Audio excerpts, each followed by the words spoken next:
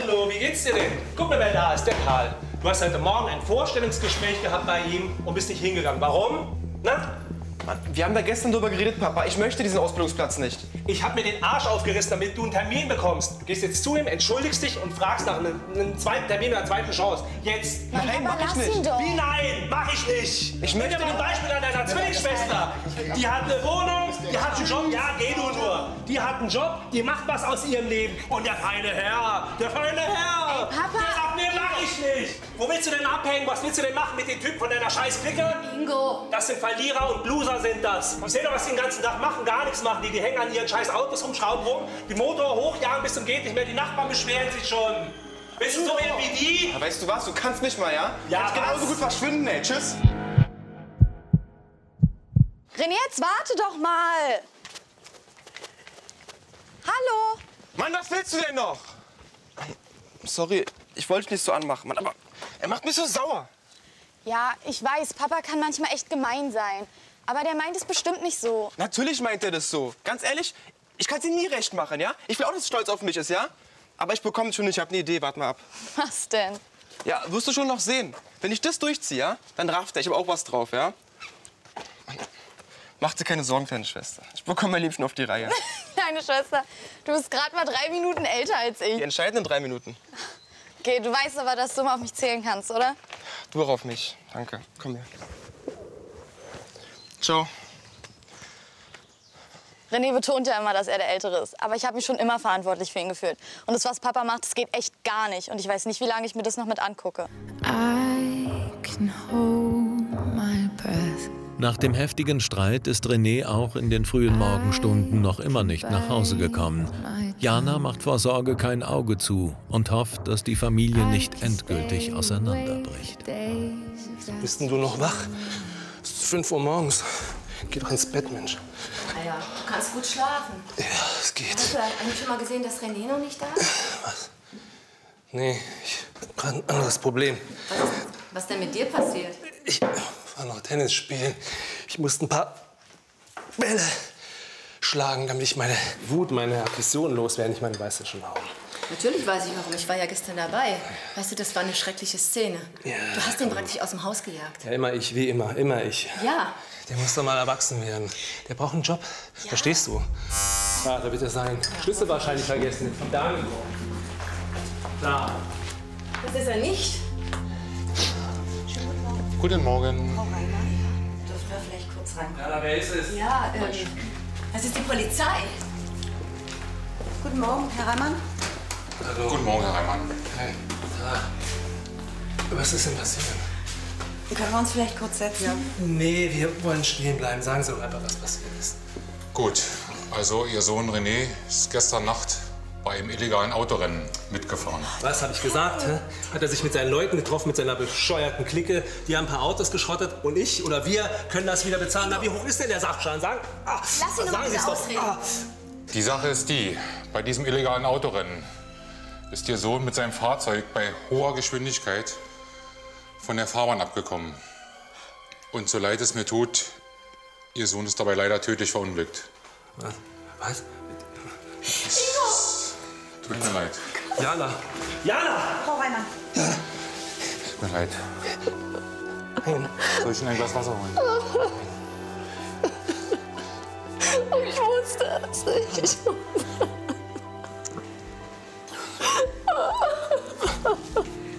Und wenn ein Lied meine Lippen verlässt, Drei Tage später wird Renés Clique von der Polizei verhört. Die Familie will um jeden Preis herausfinden, wie es zu dem schrecklichen Unglück kommen konnte und hat Rechtsanwalt Ralf Vogel beauftragt, sie zu vertreten. Wieso dauert denn das so lange hier? Das sieht doch ein Blinder mit dem Krückstock, dass die das waren, dass die meinen Sohn auf dem Gewissen haben. Ja, Reimann, aber es äh, muss jetzt erst mal jeder vernommen werden. Und das dauert seine Zeit. Und bisher wissen wir ja nicht viel. Das Einzige, was wir wissen, ist, dass als René von der Straße abgekommen ist, er ein Rennen gegen eine weiße oder helle Corvette gefahren ist. Und was mit diesem scheiß Mike, diesem Klickenboss da, der fährt doch genau so ein Ding. Der muss es ja dann gewesen sein. Natürlich ist das ziemlich auffällig. Aber wir müssen das ja beweisen können. Und bisher haben wir nur diesen Zeugen, der ausgesagt hat, dass der Fahrer der Corvette nach dem Unfall weggefahren ist. Aber es war an dem Abend dunkel und er konnte den Fahrer nicht erkennen. Wir müssen also hoffen, dass irgendetwas bei diesem Verhör für uns rausspringt. Was soll das jetzt? Die dürfen doch wohl nicht einfach so gehen. Das ist wohl ein Scherz, oder? Geht doch nicht. Das sind doch die, die Mörder meines Sohnes. Ihr Mörder. Es tut mir so leid. Halt die Fresse, Jenny. Uns muss sie gar nichts leid tun. Er hat sich selber um den Baum gewickelt. Das ist immer Pech. Damit haben wir nichts zu tun. Und jetzt gehen wir. Du! Ingo, bringt doch nichts. Unfassbar, diese Jungs. Ähm, was ist denn bei, dem, bei der Befragung herausgekommen? Naja, die Zeugen haben weder das Kennzeichen der Corvette noch den Fahrer eindeutig identifizieren können. Und die Klickenmitglieder geben sich alle gegenseitig ein Alibi. Aber die haben meinen Bruder ermordet. Sie müssen doch irgendwas tun können. Ja, Der Unfallwagen ihres Bruders, der ist ja noch in der Untersuchung. Und wir erhoffen uns davon weitere Hinweise. Aber bis jetzt können wir kein Fremdverschulden nachweisen. Es tut mir leid. Schönen Tag noch. Dankeschön. Und jetzt? Was machen wir jetzt? ha? Ich meine, wir müssen doch irgendeine Möglichkeit haben, diese Typen da dingfest zu machen und in den Knast zu stecken oder sonst irgendeine Bestrafung, oder? Sie haben gehört, die Polizei, die ermittelt weiter. Aber dabei werde ich es nicht belassen. Ich werde selber meine Ermittlungen anstellen und versuchen, die Klickenmitglieder einzeln irgendwie zu befragen oder irgendwas rauszufinden. Vielleicht kippt ja einer von denen um. Ja, vielleicht. Und Sie fahren am besten erst mal nach Hause und kommen ein wenig zur Ruhe, soweit es gehen kann. Denn, äh, ja. Sometimes I slide away silently. Die traumatischen Ereignisse der letzten Tage haben der ganzen Familie arg zugesetzt. Insbesondere Ingo will den Tod an seinem einzigen Sohn nicht ungesühnt lassen. Kann denn die Polizei diese Scheißkerle da laufen lassen, die meinen geliebten Sohn auf dem Gewissen haben? Sag mal, bin ich hier gerade im falschen Film? Deinen geliebten Sohn? Was ist denn mit dir los, Mensch? Was mit mir los ist? Seitdem René gestorben ist, laberst du in einer Tour davon, was du doch für einen lieben, netten Sohn hattest. Vorher hast du ihn doch auch nur fertig gemacht. Wie scheinheilig bist du denn? Denkst du, ich habe deinem Bruder gesagt, dass er diese Rennen fahren soll? Der war 20, der hat doch gemacht, was er wollte. Er wollte immer nur, dass du stolz auf ihn bist. Aber du hast ihn nur angekackt. Glaubst du denn nicht, dass es mir jeden einzelnen Tag was ausmacht? Dass ich mit René im Streit auseinandergegangen bin und er sich da totgefahren hat? Du hast ihn aus dem Haus gejagt und genau deswegen bist du auch mitschuld an seinem Tod. Ich hasse dich dafür. Tina, Tina, warte doch mal. Nein, lass mich. Tina. Nein. Wie kannst du denn sowas sagen?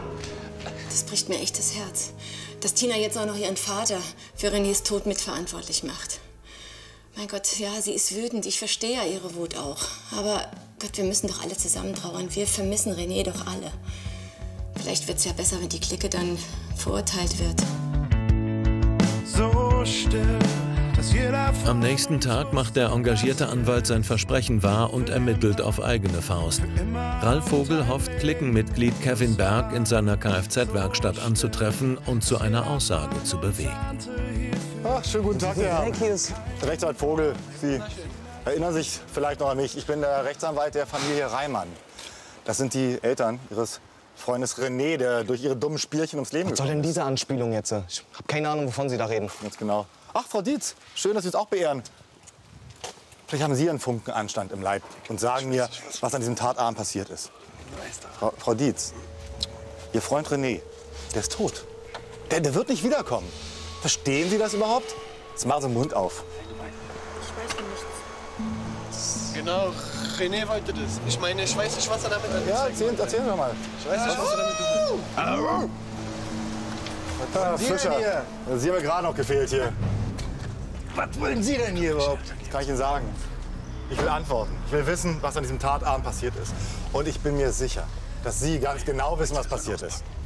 Okay, was gleich mit dem Tod von René zu tun? Ich meine, der kann einfach kein Auto fahren. Hi. Hast gefreut? Wissen Sie was? Herr Fischer, es gibt Zeugen.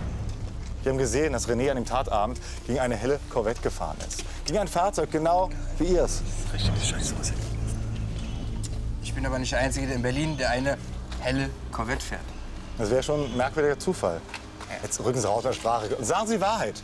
Sie haben vielleicht ein Strafverfahren zu befürchten wegen gefährlichen Eingriffen in den Straßenverkehr. Aber die Eltern von René, die haben es verdient, die Wahrheit zu erfahren. Zu erfahren, warum ihr Sohn sterben musste. Ey, Mike, Mann. Ich weiß nicht, vielleicht Alter. sagen wir doch... Halt die Fresse einfach, ihr haltet alle die Fresse. Sollen das hier Einschüchterungsversuche sein? Sagen Sie, was Sie zu sagen haben. Ich habe nichts zu sagen. Sie vielleicht, Frau Dietz, nochmal. Nein? Gut, wenn Sie sich anders überlegen, dann haben Sie meine Karte. Ja, die Karte können Sie sich, ne? Sie können uns gar nichts. Wir wissen von nichts. Wir waren nirgendwo. Beim Unfall waren wir auch nicht dabei. Falls Sie sich doch mal anders überlegen hier. Äh, ganz schnell die Finger bitte weg. Nehmen Sie die Dankeschön. Karte. Schönen Tag noch. Was glaubt dieser Paragraphenfutz hier eigentlich, wer er ist? Meine Jungs und ich halten zusammen. Da brauchen wir gar nicht an die Karre pissen. Take me down to the. Jana und Ingo können nicht fassen, dass ihr Sohn bei einem illegalen Autorennen ums Leben gekommen ist. Fünf Tage nach dem furchtbaren Unfall hat die Kriminalpolizei erneut schlechte Nachrichten für das Ehepaar. Schönen guten Tag, Guten Familie Tag. Reimann, Ja. Tillmanns, Kollegin Hallo. Schneider. Oh, hallo, grüße Sie. So, Herr Reimann, wir hätten gerne mal Ihr Auto gesehen, bitte. Äh, wieso das denn? Weil der Herr Oliver Buß, eines der Cliquenmitglieder, den Sie für den Tod Ihres Sohnes verantwortlich machen, absichtlich angefahren wurde. Und da liegt es ja allzu nahe, anzunehmen, dass eventuell Sie was damit zu tun haben, aus Rache vielleicht. Und deswegen würde ich Sie bitten, zeigen Sie uns mal bitte Ihr Fahrzeug. Ich habe da kein Problem mit. Ich habe nichts zu verbergen. Ingo führt die Beamten zu seiner Garage. Kriminalkommissar Harry Tillmanns inspiziert das Fahrzeug und macht eine schockierende Entdeckung. Schneider, komm mal her. Guck mal hier. Wow, Spurensicherung würde ich sagen. Jo. Wie? Herr Reimann, Was denn? Was denn? Oh, Reimann, na, guck sich mal Ihr Wagen an. Das sind ja nur eindeutig frische Kratzer. Ne? Und das sind ja nun da auch Blutspuren. Also gestern war das noch nicht da. Damit habe ich nichts zu tun. Ich, ich fahre doch nicht jemanden extra über den Haufen, Mensch. Ja, Herr Buß hat uns das aber ganz anders erzählt. Seiner Aussage nach hat das Fahrzeug voll auf ihn zugehalten. Und wenn er nicht zur Seite gesprungen wäre, dann hätte es ihn voll erwischt. So liegt er immerhin noch mit einem Beinbruch im Krankenhaus. Also, wissen Sie, mein Mann macht sowas nicht. Das gibt es nicht. Also Herr Reimann, für mich sieht es nach einem klaren Fall von Selbstjustiz aus. Ich nehme Sie jetzt wegen gefährlicher Körperverletzung, vielleicht sogar wegen des Versuchs eines Tötungsdelikts mit aufs Revier. Sie sind vorläufig festgenommen. Kommen Sie mit. Ja, langsam. Festgenommen? Also, uns bleibt überhaupt nichts erspart. Was soll das? Du hast nichts getan. Weißt Nein, ich habe damit nichts zu tun. du, weißt du, ich rufe gleich unseren Anwalt an. Mach dir keine Sorgen, okay? Eine Stunde später soll Ingo auf der Wache offiziell vernommen werden. Rechtsanwalt Ralf Vogel hat sich umgehend auf den Weg zum Präsidium gemacht, um seinen Mandanten vorab selbst zu den harten Anschuldigungen zu befragen. Ich habe ja schon ein bisschen was gehört. Aber eins muss ich sagen, Herr Reimann. Wenn ich Sie hier adäquat verteidigen soll, dann müssen Sie mir wirklich die Wahrheit sagen. Und vor allem muss ich wissen, wie kommt es dazu, dass an Ihrem Fahrzeug Blut und Kratzspuren gefunden worden sind? Ich habe keine Ahnung, ich weiß es nicht. Ich war zu Hause und ich habe Fernsehen geschaut. Fußball geguckt, sonst gar nichts. Gut, und das kann Ihre Ehefrau bezeugen? Ja, ich war gestern mit einer Freundin zusammen unterwegs. Gut, wer hatte noch Zugang zu Ihren Fahrzeugschlüsseln? Ihre Tochter vielleicht? Tina? Ach was, die hat doch nicht mal einen Führerschein. Selbst wenn sie einen Führerschein hätte, wäre sie doch niemals in der Lage, sowas zu machen. Da will mir ja jemand was in die Schuhe schieben, was anhängen. Das ist gar nicht so unrecht vielleicht, Herr Reimann. Wissen Sie was? Ich habe doch mit dieser Autoklicke mich unterhalten. Mhm. Und da hatte ich das Gefühl, dass dieser Oliver mir eigentlich etwas sagen wollte. Vielleicht hat Mike mit dieser Aktion ihm einen Denkzettel verpassen wollen, einfach nur. Mhm. Ja, ich meine, so könnte es gewesen sein. Ja. Vielleicht war es wirklich so. Und, und der hat dann das Auto genommen und will mir das anhängen. Ja, und als Automechaniker könnt ihr ja ohne weiteres Ihr Fahrzeug kurz schließen und es danach wieder zurückstellen.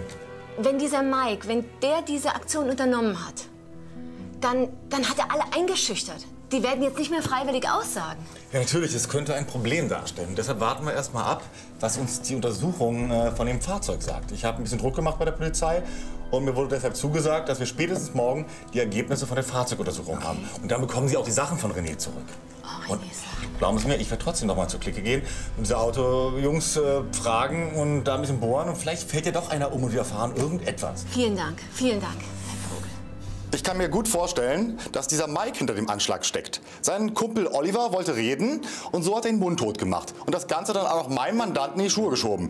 Ja, so hat er zwei Fliegen mit einer Klappe erwischt. Auf Drängen des Anwalts wird Ingo aus der Untersuchungshaft entlassen. Am nächsten Tag begleitet Ralf Vogel seine Mandanten erneut zur Wache.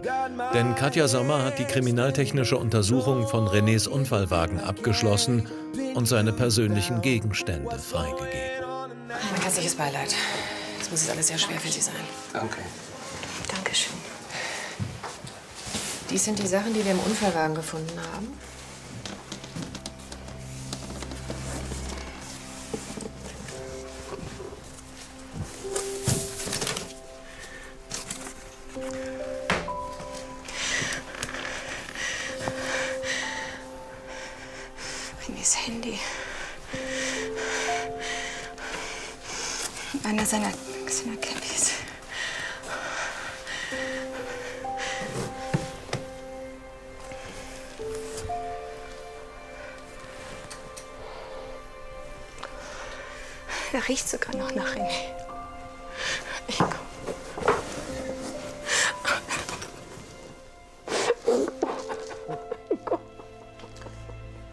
Ist jetzt bei den kriminaltechnischen Untersuchungen im Ergebnis herausgekommen?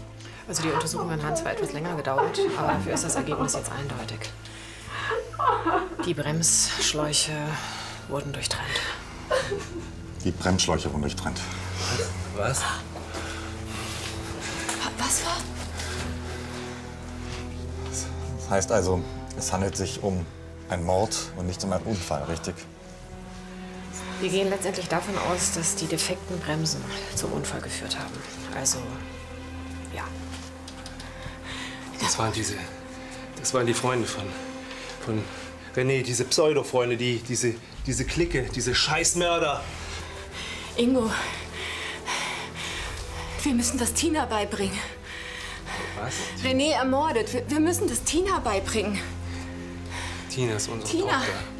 Oh Gott. Ich kann nicht mehr, ich kann das nicht mehr. Ingo. Ich will das nicht mehr. Ich kann nicht mehr. Ich muss hier raus. Ich muss hier raus. Dann war es also doch ein Mord und kein Unfall. Es ist ja schon schlimm genug, wenn Eltern ihr Kind verlieren. Aber dann noch zu wissen, dass es ermordet worden ist, das kann ich mir gar nicht vorstellen. Ich werde alles daran setzen, den Mörder zu finden. Das habe ich meiner Mandantschaft versprochen.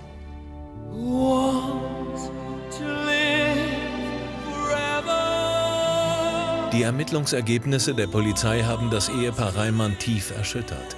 Am Nachmittag versucht Jana ihrer Tochter schonend beizubringen, dass ihr Zwillingsbruder ermordet wurde. Du, Tina, ich wollte es dir jetzt eigentlich nicht so direkt sagen, weil es ist, fällt mir wirklich schwer. Jetzt so Kleines. Was wir gerade erfahren haben. Das war kein Unfall. Renés Bremsschläuche an seinem Auto wurden durchgeschnitten. Er ist ermordet worden. Es tut mir so leid, es tut mir so leid. Ich wusste, dass es kein Unfall war. René war so ein guter Fahrer. Der wäre doch so ein Risiko niemals eingegangen. Ich weiß, er hat schon manchmal Dummheiten gemacht und alles. Aber er war nicht leichtsinnig. So einen Scheiß hätte er nicht gemacht. Gott, was ist denn da los? Fahr dich doch runter. Sind die gleich Hausarbeiter? Ey, jetzt fahr was. Der wird gleich Warte, da warte, sein. warte, warte, Alles gut. Nein. Was wollt ihr hier? Alter, noch hierher traut? Das sind nur die Weiber. Wo ist denn der Alte? Jemand hat mein Baby zerkratzt, Alter. Und ich flipp hier gleich aus. Warte mal ab, Alter. Dick, komm mal runter, geh hinter mir. Um was Geh geht's jetzt hier eigentlich? Schratze raus hier. Ey, ich rede gerade. Dann klär das gefälligst. Klär das, wo der ist. Ich kläre es. Ja, du sagst es. Es geht um seinen schicken Audi. Ey, euer scheiß Alter, Auto ist uns egal. Wer hat meinen Bruder ermordet? Mein Sohn wurde ermordet. Seine Bremsschläuche am Auto wurden durchgeschnitten. Selbst wenn ihr es nicht wart, ihr wisst genau, wer es war. Mama, es muss einer von denen gewesen sein. Es kann nur so sein. Ihr seid Mörder. Mörder? Was denn, hä? Digga. Wovon reden die? Alles ruhig. Ich, ich kläre das. Alles klar? Wovon reden die, Alter? Wir haben keine Ahnung, wo- worin sich René verfangen hat oder mit wem er sich angelegt hat. Alles klar? Wir haben damit nichts zu tun. Ihr miesen Verbrecher. Ihr habt meinen Sohn aufgewissen. Ihr verlasst jetzt sofort das Grundstück. Sonst rufe ich die Polizei. Alles gut, Digga. Die wollen die. Bullen rufen. Alles gut. Verschwindet. Los, nehmen wir Ey, wir gehen los. Aber einen kleinen Denkzettel müssen wir da lassen. Oh Gott. Verdammte. Bitteschön. Wo ist der Wichser? Ruf ihn her oder ich... Fick euch alle! Und sowas kann Verdammte Scheiße, was soll das? Hallo, ich rede gerade. Sowas kann mit dem Kopf auch passieren, alles klar? Verstanden, Alter. Sag den ab. Schisselfahrt und dein Mann, ich komm wieder. Wie können die das wagen? Die haben meinen Sohn ermordet. Wenn Tina nicht da gewesen wäre, hätte ich mich ja auf sie gestürzt. Ich bin mir sicher, die werden schon noch überführt. Hoffentlich. As a child, you would wait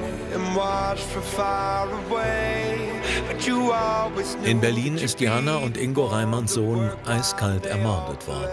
Die Polizei und Anwalt Ralf Vogel fahnden nach dem Täter. Doch plötzlich muss sich Ingo für eine Sachbeschädigung am Auto des Hauptverdächtigen verantworten und den Beamten seinen Werkzeugkoffer zeigen. Hier, bitte. Dankeschön. Da fehlen zwei Schraubenzieher. Was? Das kann doch gar nicht sein. Den haben wir am Tatort in den Sträuchern gefunden. Das ist doch Ihrer, oder? Ich war nie in der Nähe dieser Werkstatt. Niemals. Und ich habe schon gar kein Auto zerkratzt. Sie hören es doch, mein Mandant hat nichts damit zu tun. Und wenn Sie jetzt nicht die Fingerabdrücke von ihm auch noch rein zufällig auf diesem Schraubenzieher finden, dann könnte der auch jedem anderen gehören, der irgendwann mal so ein Werkzeugset im Baumarkt gekauft hat. Aber es ist ja wohl ein sehr großer Zufall, dass genau dieser Schraubenzieher hier in diesem Sortiment fehlt. Ist das nicht mehr als auffällig, auch für Sie? Zufall, genau, so sagen Sie es. Zufall. Und Zufälle gibt's, ganz einfach. Und mal was ganz anderes. Die Garage, die steht offen, die ist nicht abgeschlossen. Da kann jeder ran, da hinten ist auch noch eine Tür. Also hätte jeder diesen Schraubenzieher aus der Garage entnehmen können. Finden Sie lieber mal heraus, wer meinen Sohn ermordet hat. Da gebe ich Frau Reimann aber recht, denn schließlich wurde Frau Reimann, ihre Tochter, von dieser Autoklicke mit einem Baseballschläger bedroht. Ja. dem sollten Sie mal nachgehen. Da können wir gleich eine Strafanzeige stellen. Ja. Das ist Ihr gutes Recht. Und Frau Reimann, ich verstehe Ihre Wut völlig. Aber glauben Sie mir, auch wir sind daran interessiert, den Fall an Ihrem Sohn aufzuklären. Ja? So, wir sind hier fertig. Auf Wiedersehen. Auf Wiedersehen. Wiedersehen. Scheiße, Ingo! Wie kommt denn dein Schraubenzieher an den Tatort? Du bist doch sonst immer so pingelig mit deinem Werkzeug. Ich weiß es nicht. Ich war nicht an dieser Werkstatt. Ich habe keine Ahnung, wie, wie das Zeug da rauskommt. Sie haben doch eben selber gesagt, die Garage steht doch immer offen. Da kann sich doch jeder nehmen, was er will, oder?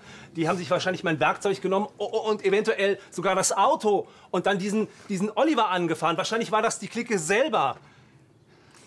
Naja, gut, so kann's sein. Aber was ich ganz komisch finde, dass die genau wussten, wo das Werkzeug steht. Du schiebst es doch immer so ins Regal rein. Dann haben sie es halt zufällig gefunden, keine Ahnung. Außerdem tut mir das Knie derart weh. Ich, ich möchte gehen, ich möchte mich hinlegen. Ihr Mann könnte uns erzählen, was er will. Aber ich finde die Sache trotzdem komisch. Da hat irgendjemand dann also einen, einen Schraubenzieher genommen, um eine Tat zu begehen, um es dann ihrem Mann in die Schuhe zu schieben. Das kann doch nur jemand sein, der sich für den Tod ihres Sohnes peu à peu an der, dieser Clique rächen möchte. Und dann auch noch ihren Mann das in die Schuhe schieben möchte. Und wer kann das sein? Ja, ich weiß es nicht. Ich weiß es wirklich nicht. Aber wenn es keiner aus der Familie ist, dann müsste es zumindest jemand sein, der der Familie sehr nahe steht. Ich würde mich gerne mal neben dem Zimmer ihres Sohnes umschauen. Vielleicht finden wir da irgendwelche Hinweise. Ich weiß gar nicht mehr, was ich denken soll. Ich bin mir sicher, dass Ingo unschuldig ist. Aber wer steckt dann hinter diesen Racheaktionen? Und jetzt möchte Herr Vogel auch noch Renés Zimmer sehen. Das ist ganz schwer für mich. Jedes Mal, wenn ich es betrete, bricht mir das Herz.